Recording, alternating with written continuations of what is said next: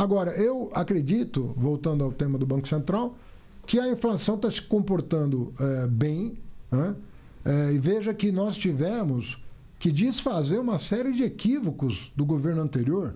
O governo anterior, no meio da eleição, tirou o imposto sobre combustível fóssil para baratear artificialmente o preço da gasolina. Né? E nenhum país do mundo deixa de cobrar tributo sobre combustível fóssil.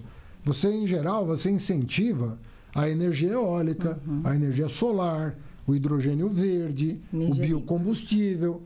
O Brasil, eh, negacionista né, do tempo anterior, foi o único país do mundo que é, desonerou o combustível fóssil. Eu não, é, essas coisas vão na contramão do que o país precisa para gerar um meio ambiente melhor. Se a gente quer evitar desastre climático, a gente tem que descarbonizar o, o, o planeta.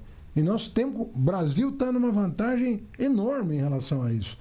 Então, com tudo isso, a inflação caiu para baixo do teto da, da meta. Está dentro da banda, com os últimos dois meses a inflação se comportando bem. Então, se você perguntar para mim o que eu espero, eu espero um corte de juro hoje para nós continuarmos nessa construção de uma economia mais saudável. Poder Monitor. Acesse agora e ganhe 30 dias grátis.